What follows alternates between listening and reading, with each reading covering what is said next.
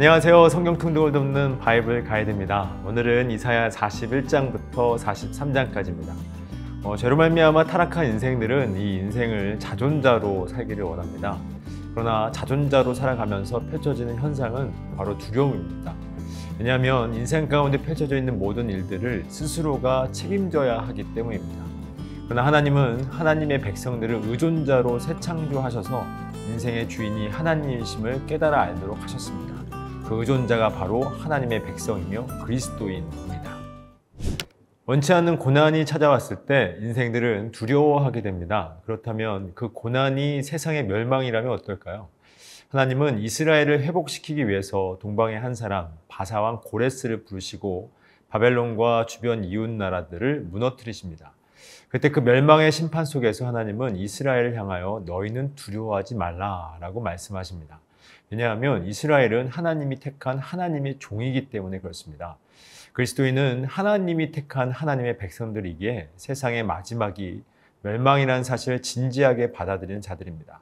때문에 심판 속에서 건져내어 주신 예수 그리스도가 기쁜 소식으로 다가오게 되는 것이며 동시에 세상의 심판을 두려워하지 않게 되는 것입니다. 앞서 41장에서 하나님은 기쁜 소식을 전할 자를 보내신다고 하셨지만 심판을 진지하게 받아들이지 않는 자들은 이 소식이 기쁨이 아닌 오히려 거부감이 들기에 배척하고 미워하게 될 것입니다. 그러나 이 소식을 기쁘게 받아들이는 자들이 있으니 그들이 바로 하나님의 종인 것입니다.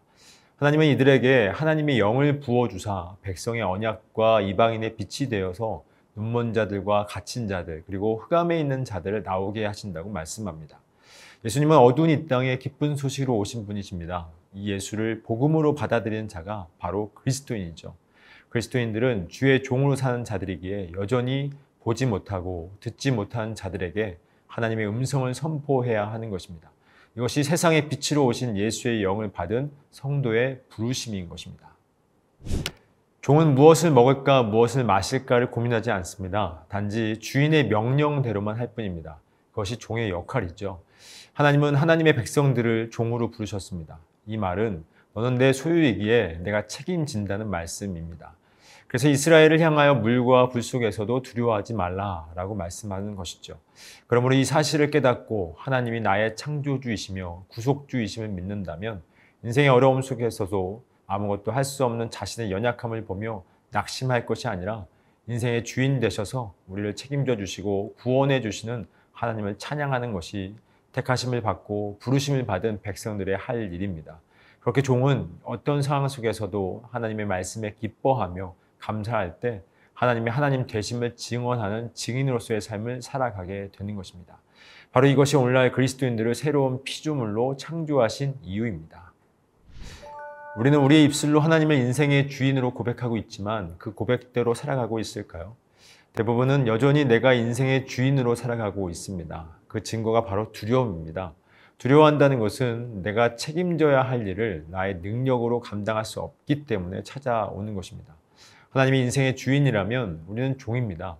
종의 인생은 하나님이 책임져 주십니다. 그 책임은 우리가 원하는 대로가 아닌 하나님이 원하시는 대로입니다.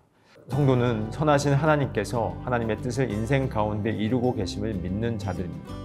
이 믿음에 있는 성도라면 어떤 상황 속에서도 하나님의 뜻이 이루어지고 있기에 하나님을 찬양할 수 있는 것입니다.